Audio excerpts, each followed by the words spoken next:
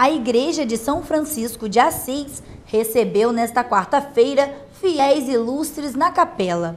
Um diácono esteve pela manhã dando bênçãos àqueles que são os melhores amigos do homem.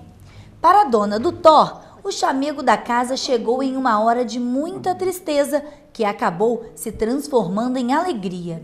É o segundo ano que eu venho, porque no primeiro ano que eu vim ele adoeceu. E eu e minha mãe prometemos a São Francisco que se ele ficasse bom, ele viria sempre. É isso aí. Então, é o xodó da casa, eu imagino, não é isso? É, é um xodó, é um xodó pra gente. Ele foi uma substituição de amor, a gente perdeu um ente muito querido e aí ficou meio assim. Então, ele é um xodó, xodó, um filhote, filhote de pelo.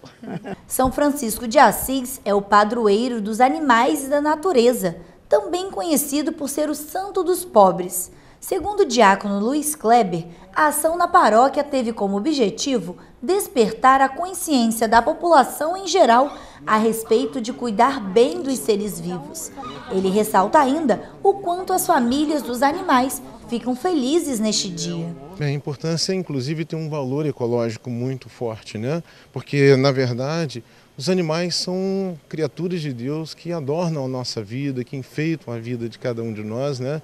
Então vem os cãezinhos, vem os gatinhos, vem os passarinhos e todos os outros tipos de animais que servem para nos alegrar no nosso dia a dia, fazer companhia. A gente sempre vivencia esse dia de hoje, né? Esse dia devotado a São Francisco de Assis, a sua intercessão, mas sempre com uma consciência também da ecologia, do, do trabalho, do cuidado com o nosso meio ambiente, com tudo aquilo que nos cerca porque sem dúvida é a nossa casa e a gente precisa cuidar bem dela. Para a família da cadelinha Mel, ela chegou para unir ainda mais o casal e trazer alegria para dentro de casa.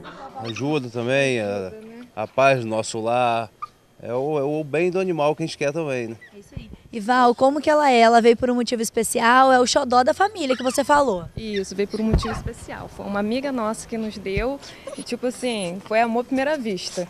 Ela foi para casa dela na praia, foi para casa na praia aí, tipo assim, ela nem me conquistou, conquistou meu marido. De manhã foi logo correndo, brincando, aí eu fiz assim, ai, tão bonitinho, né? Se tivesse espaço em casa, né? Porque a gente estava em obra, tá? Aquela coisa toda. Ele, não, vamos dar um jeitinho. Aí ajeitou tudo, aí foi pegamos ela. É o xodó mesmo.